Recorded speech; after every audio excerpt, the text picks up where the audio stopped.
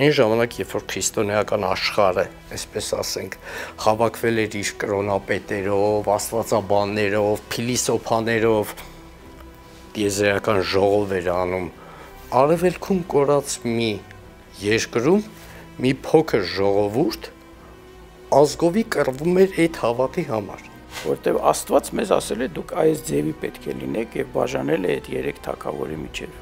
Ես վաղուց եմ համոզվել ամենապրագմատիկ մտածողությունը абստրակտ մտածողությունն է։ Ամեն մեկը իր կոդը ունի եւ ինքը միշտ կրկնվում է այդ կոդը պատմության հազարամյակների ընթացքում։ Ոչ միայն մենք մեր պատմությունից դասեր չենք քաղում, այլ կարծես թե մենք որպես հավաքականություն բարբերաբար պատմության նույն դասը անում ենք մնում։ Կերտելով հոգեվոր Հայաստանը